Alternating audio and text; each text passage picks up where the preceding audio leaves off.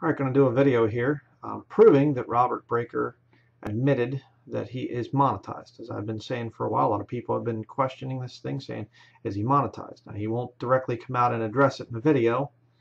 Uh, some people and all this stuff just being vague and ambiguous, as a good false prophet does, uh, don't have the guts to come out and actually name names and things like that.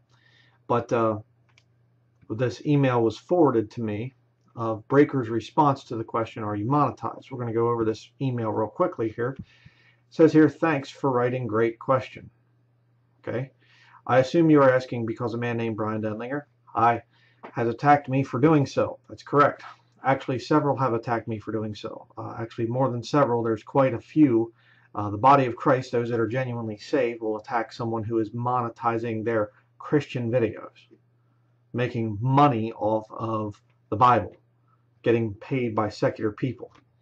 Get more into that as we continue. So I'll, have, I'll be happy to give you the skinny on that. When I started my YouTube ministry in about 2007, I did not monetize it first, and I didn't want to.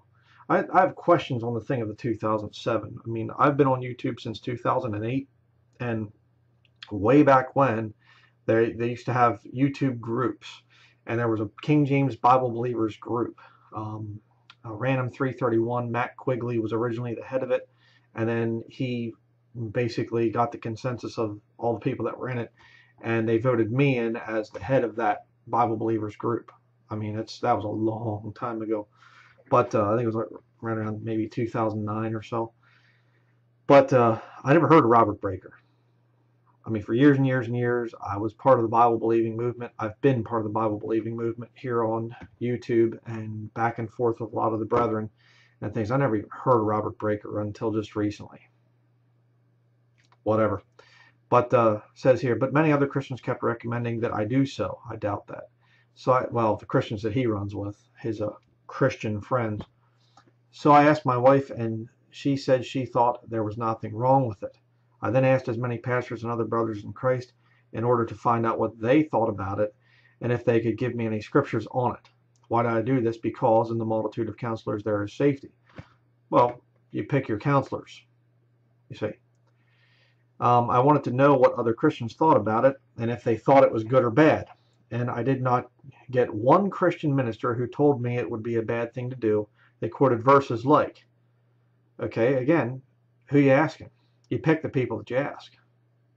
And I mean, the Bible's very clearly against it. I've proved it in one, my one study. I'll be talking about that in a minute.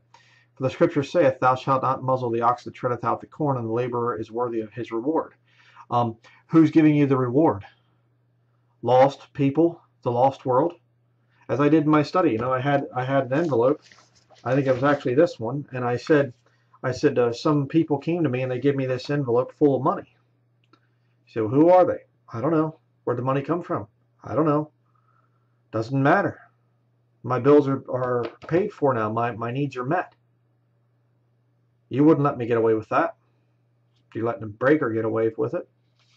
And this isn't full of money, by the way. It's full of a, it's a letter a brother sent to me. Um, actually, no, that's a, that's actually from the law firm. Never mind. Closing for our property that we sold. But the point I'm trying to make is just saying, well, we get, I get money and I don't really know where it comes from. Just ads. Uh, no, 1 Timothy 5.18 and 1 Corinthians 9.14, the next one he quotes there, uh, those are about the body of Christ supporting a Christian preacher. The Lord places it in the heart of a Christian to give money to a ministry to see that ministry continue. I mean, show me in the scriptures where secular people were promoting and supporting financially saved people. Show me that one, Breaker. Continue. They all said that they thought it would be a great idea to monetize my videos as it would be a good way of helping to pay for the ministry. Okay, I took their counsel into consideration as well as the verses they gave and still decided not to monetize just yet and to continue praying about it more. I did this for several years. Why? If there's nothing wrong with it. I mean, I had to pray for a couple years before I decided to read the King James Bible. I just had to think about it for what? If it's right, you do it. Okay? You don't got to pray about stuff. Well, I really had to pray and consider that weird. After I prayed about, I eventually decided that I would monetize in 2014, but I would only monetize the most smallest, least way that you could, as I've as I'd seen many videos which had ads, have ads all through them, and this is distracting. I did not want to distract from the message of preaching the gospel. Well, you don't have to worry about that, Breaker, because you don't preach the gospel. You preach a false gospel. Talk more about that in a couple minutes here. So I looked into how you could monetize in such a way that it would not distract from the message. What I found is that I could put an ad at the very beginning of the video, but that I could also put a tab in which people could skip the ad after five seconds. This is what I did. I added no other ads than that in order to not distract from the message. When I did that, I received email after email after email of viewers who said, Brother Breaker, we are so glad you did that. We wanted to support your ministry financially, but we don't have any money to do so. Now watch what he does here. This is incredible. So we greatly appreciate you uh, you're allowing the ads because what we can now do is watch your videos on a loop and let them play all day long. This is how he wrote this thing. Knowing that when the ads play, they will give you some support, and that is our way of donating to your ministry. What a novel idea. This was their way of donating to me. That's illegal. You can't do that. You are artificially inflating your numbers. That's illegal. You're not even supposed to do that on YouTube. You're not supposed to have all kinds of people coming in and just looping your videos to make your view count go up so you get more AdSense. That is deception. It's lying. Do you not understand that? I mean, if you're one of Breaker's followers, you're brain dead anyways, that, you know, supports everything that the guy does, and he can just lie right in front of your face and you go, I didn't see anything wrong with that, you know. But I mean, look at that. What a novel idea, he says. Lying. They're lying. You didn't watch the video. You're not sitting there watching the video and things, but you're looping it and looping it and looping it. So it just keeps that view count going up and up and up and up and up. That's that's that's just blatant lying and deception. And he has no problem. It's a novel idea. And this guy's saved. I don't think so. Many of them said that they don't even watch the ads and or simply muted them, but they let them let them play uh, the entire minute, knowing that will help my ministry. Okay, so when something worldly comes up, they they'll just let it play. So that is why I've monetized. Again, I don't want I didn't want it at first. Why not if there's nothing wrong? And that is why I asked other Christian ministers what they thought. I wanted to know if they could show me from the Bible if it would be wrong to do so. Not one of them thought it was a bad idea, and many encouraged me to put ads all the way through my videos in order to make as much as I could. These are the Christian ministries ministers that he's asking for their advice, and they're saying, put them all through. Make as much money as you can. I did not want to do this and I did not want to distract from the message. I am not interested in making money. Sure, but it is a blessing that YouTube is a platform in which you can get something back for what you are doing. So YouTube is the one that gives you your money, not the Lord, putting it into the hearts of saved people, the saved supporting a ministry. No, go to the world and have them support your ministry. Right. Um, and the money I do get from the ads, which is not a lot, they all say that, helps pay for the ministry such as websites, high-speed internet to upload videos, etc. Further, I made it a point to do the very least amount of monetization that you can do, which is again is a five-second ad with the option to skip the ad there. Okay, just real quick, I was watching a channel the other you know week or so. Some guy here in Maine, and he had bought some land up northern part of Maine where I'm at, and he was like off-grid cabin and stuff. I was trying to get some ideas for construction projects in the future. And he talked about how he's monetized. Not a saved man or anything. He's just secular videos. Whatever. Not going to judge a guy like that because he's just secular. And he said about, I mean, a guy had like maybe, I don't even know what, like 15,000 views or something like on his entire channel. And he was like, I just got this, you know, AdSense check, my first one for like a $100 or something. And I'm thinking, some guy that has like 15,000 views, you know, maybe a, a hundred, a couple hundred subscribers or something like this, and he's getting a check for a hundred dollars. I'm thinking, what on earth is a guy like Breaker making? 150,000 uh, subscribers and one video alone, almost 9 million views on his one video alone. And of course, realizing that his subscribers are artificially inflating his view count. It's not much money that he makes. Yeah, sure. I also recommend anyone who doesn't like the ads at all to install on their computer an ad blocker. Many people email me and say that they never saw an ad pop up on my videos. Upon further investigation, their computers had ad blockers, and that was why. So if ads offend you, please get an ad blocker. To me, it's not about the money, it's about the Word of God. sure. Now, with all that stated, I realize there are some people who claim to be Christians who want to attack me for having monetized my videos with just that five second ad. That's fine. I don't feel bad about it. I prayed about it, asked advice of other Christians, and I've searched the scriptures and I find no verses anywhere that says I couldn't or shouldn't do so. Okay, I got a whole sermon on it. Monetizing Christian videos is a sin. 45 minutes, scripture after scripture after scripture. What about the verse about you cannot serve God and mammon? Hmm? How about that one? No verses anywhere. You know, talk about the story back in uh, Genesis where you have the king of Sodom basically wants to give money to Abraham, and Abraham's like, "No, I don't want any money from you. I want I don't want you saying that you made me rich. I don't want your money." It's all in my sermon, scripture after scripture. But you see, I'm not one of the uh, preachers that uh, Breaker would recognize. I'm not in his little circle of friends, you know. So he goes to the other crooked, lost con artists like him, and they all say, "Yeah, man, get as much money as you can." Let's continue. Um, their argument is that I'm preaching only for money. What? I went to Honduras as a missionary on a very, very small amount of support for seven years and preached there. If I preached only for money, I would not have hazarded my health in such a way. Rather, I would have stayed in America. Okay, um, I was in Honduras as well on a mission trip down there. Right, there's a lot of American missionaries down there that live high on the hog. Okay, you can get down there and you can get a very, very nice, extremely big mansion out in the country for like 20,000 bucks. Okay, you can live very, very nicely down there. The people down there will come and, and act as maids and servants to you. Oh yeah.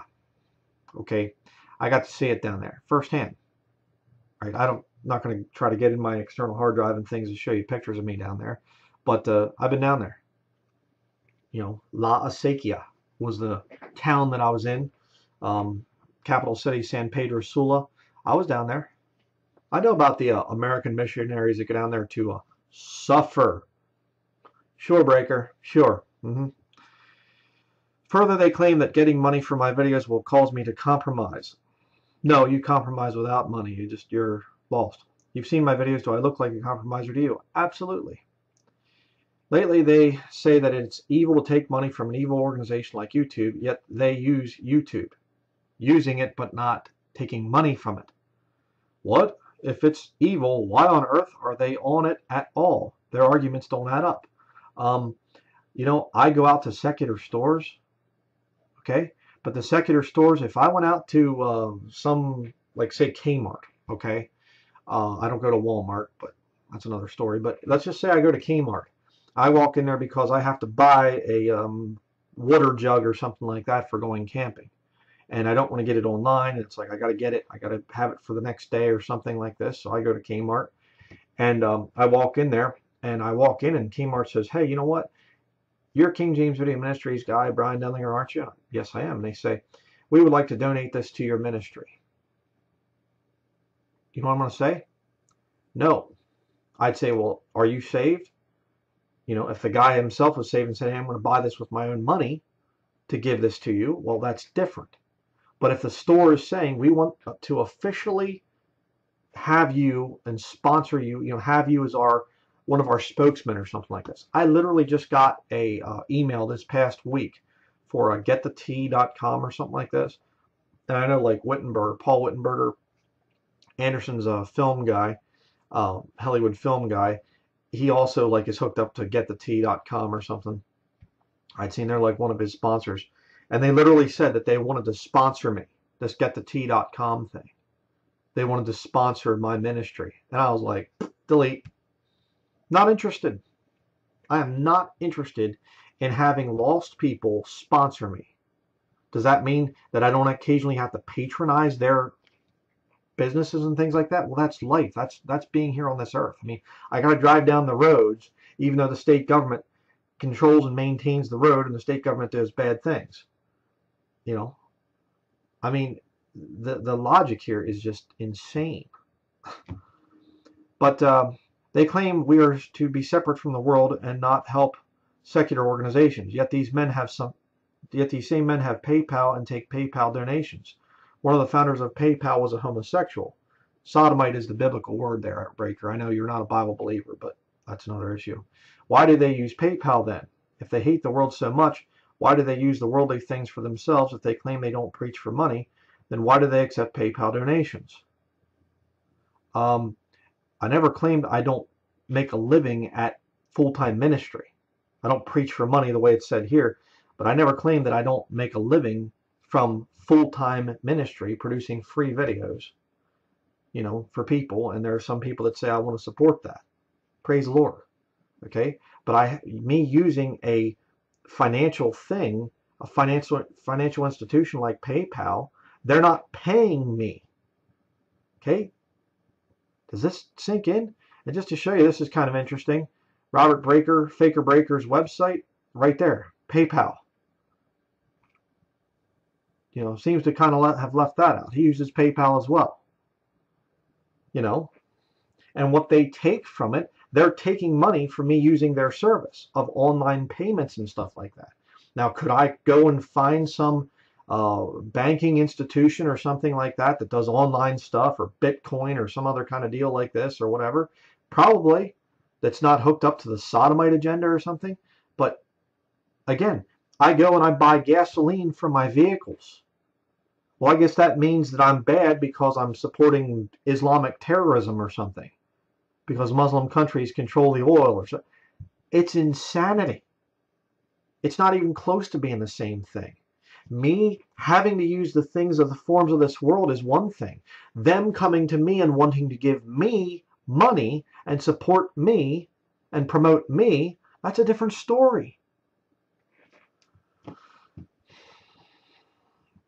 The Bible clearly tells us that we can use this the world as long as we don't abuse it. We read this here. And they that use this world is not abusing it, for the fashion of this world passeth away. Well, you're certainly abusing it, breaker. You know, they're they're coming out and they're they're promoting you. How is the world promoting me? How is the world promoting King James Video Ministries? So I find that in the Bible you can use the things of the world as long as you don't abuse them. Thus, these men who attack me are nothing more than self-conceited, self-righteous Pharisees. That cracks me up. Every lost person calls Bible-believing Christians a Pharisee. Every single time you run into a lost person, you start to press them on the things of the Word of God, you're a Pharisee. Funny how Breaker acts like a lost person, because he is one. Who wants to look down on others and pride themselves on what they do, or in this case, don't do, while trying to make others look bad. Sadly, many of them need money for in their videos they bewail and cry about how they aren't getting enough support. Uh, I didn't, I never did that. See Bryan's video where he attacks me and says I'm a liar about the dates or whatever. Um, if they would just monetize, they might be able to make ends meet. I make ends meet just fine. The Lord provides for us just fine. I've seen it supernaturally so many times where we are, it's like we got some kind of major thing coming up or, oh, you know, we do need some money and somebody will come along, the Lord will put it in their heart, come along and and help us out. Great. Keeps going. And if this ministry ever gets to a point where it's not making money, I'm going to go back to the art world again. Okay? You know, I mean, I'm just so desperate. I'm just like this this leech on the body of Christ, according to some of these people. And it's like, okay, um, I could go back to a time when I was making, you know, a bowl, a wooden bowl, and selling it for 400 to 500 dollars in an art gallery. You know, and I left that to do this full-time ministry where people attack me all the time and and you know say all kinds of ridiculous nonsense about me. You know, and this is somehow better than what I used to have. Like, okay. Uh, not to mention the fact I can go back to logging, you know, which I used to do. I wonder what Breaker would ever do. You know, see, I'm I'm I'm doing this ministry thing as Lord as long as the Lord provides through the body of Christ, not through the lost world. And if the Lord ever says, okay, you know what? You're just casting your pearls before swine here. You know, there's just too many lost people coming along and stuff like that. Deal with the body of Christ some other way. Go back to the art world or go back to logging or whatever. I'm going to go back to it. You know, Lord's given me a whole lot of other skills that I can use to make a living. But, you know, because I choose to not burden the body of Christ with an immense debt of me having some really, really, really expensive home or huge, big, expensive ministry, because I try to live as simply as I can, you know, we, you know, we all, we live that way because we don't want to be a burden on the body of Christ. And that's me not providing for my wife. So I guess I should have some huge big mansion and stuff like that. Brand new vehicles and things. Then I'd be a real preacher, I guess, apparently. Uh, they would rather pride themselves upon the fact that they don't. The book of Job tells us that Leviathan or Satan is the king over all the children of pride. Well, how about a guy that never says that he's wrong, like Breaker? So I don't listen to these men or care what they say about me. I think it's great that God in these last days has allowed a platform for people to preach his word and be able to get a little something back for doing it. From the lost world. you know, give me a break. It's almost like there's no excuse for not serving God in these last days. Lost people. He is literally saying that God is using lost people to pay his salary. I mean, show me scripture. Show me scripture where God ever said to anybody that's saved, Go into ministry and have the lost world support you doing it. it. Says here, because anyone could get on YouTube and do just that and have their ministry paid for if they uh, do what I did. I hope this answers your questions. I don't love money and I don't do what I do for money. Yes, you do. I do it for the Lord. But like my wife said, isn't it cool you can serve the Lord today and even the secular world has set up a system in which they will give you some ad money for doing it? She further said, that money has to go somewhere. Why not to the ministry rather than to evil people uh, to use for evil things? She just literally said here, the secular world, right there, secular world, they will give you some ad money. And what's he say? What a smart wife. yeah, okay, I think you both need to get saved. In closing, let me say that the money I do get from the ads is very small, especially since I only do the five second thing. It used to be a little more, but about a year or so ago, something happened and many people withdrew their ads to YouTube. And since then, it's been ridiculous how little you get in ad revenue. Many of us, or many who used to live off of their ad revenue no longer can. It's so very little now. It looks like YouTube is really stealing from people, but it doesn't matter to me. Again, I don't care about the money, but I certainly don't want to take away people's opportunity to donate to my ministry by letting the ads play. I'll get back to that in a minute. They are happy they can donate in that way, so I will allow them to do so. Oh, you're such a sport there, Breaker. You're going to allow people who profess to be Christians to basically watch ads from the lost world. I'm going to show you one of the ads here in just a minute. Let the, the lost world, you know, pay you. Yeah. But let's uh, just show you a thing here. Like I said, right there is my video. You know, monetizing Christian videos is a sin. Oh, scripture and after scripture after scripture after scripture showing that it's wrong to take money from the lost world for the Lord's work. Okay? You have a secular job? Sure, of course. Your boss is paying you because you're doing work there. Sure. Secular job but to sell the Lord and to make money off it, like this. Check this out. Um, Sister Sally did this video here, showed this thing. His testimony of salvation. Okay, my testimony of salvation here, and it has ads from the Vatican playing at the beginning. So at least on this one video, he got money from the Vatican. Hmm. And I think it's interesting too because you type in the, the thing, you know, because I'm not setting dates. I'm not setting dates. You come here September 23rd, 2017. Guess who shows up first? Faker Breaker. Right there. Click on it. Shut your mouth. Look at this. 8 8,911,561 views. It just was under 8 million back when I first started to expose this a few days ago. He's up almost a million views since the last time I did a video. But that's okay because it's his viewers just letting it loop and loop and loop and scamming. Not only is he getting AdSense, they're scamming the lost people, lying about his views. And he says, what a novel idea. Openly admits to being a liar. And, and again, look at the look at the, the blindness. Okay? See, I want you to understand something out there. Lost people are spiritually blind. A lot of times they're professing things and they're not even able to see their own hypocrisy. He says, I'm not setting a date as he's standing there in front of a date. I'm not setting dates. September 23rd, 2017. It's yes, it's it's gotten that bad. And these people, you know, I show the video and it's like one minute he says 1947, next minute 1948. And he, in both videos he said Israel became a nation in 1947. And he says 1948 in the other one. Israel became a nation in both videos. Then he has to come out and backpedal and, well, 1947 is when the UN recognized it. That's not what you said. You said they became a nation. You had to change the date. And you lied about 1948 being a blood moon thing. It was 1949.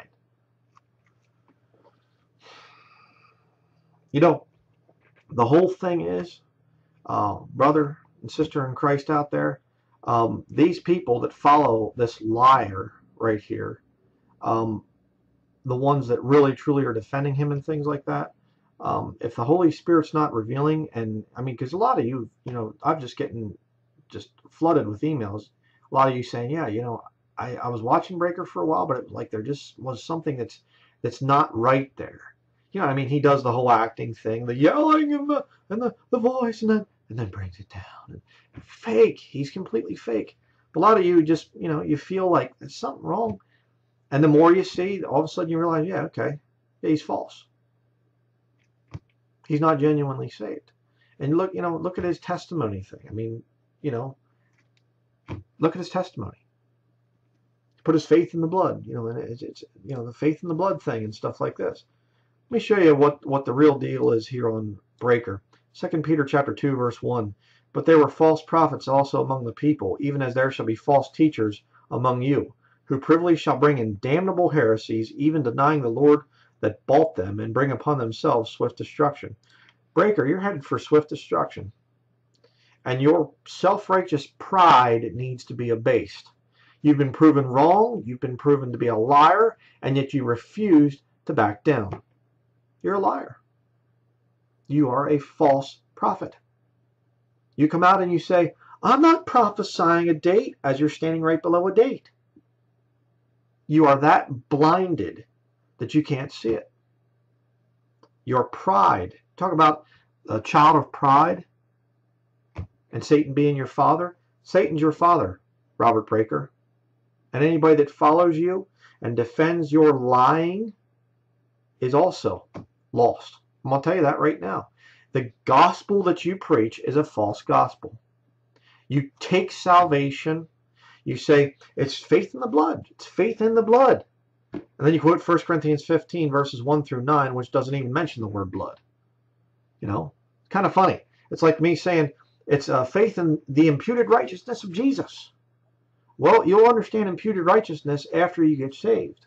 Just like you'll understand the blood of Jesus Christ washes away your sins after you get saved. But lost people aren't going to understand that. Lost people understand I'm a sinner.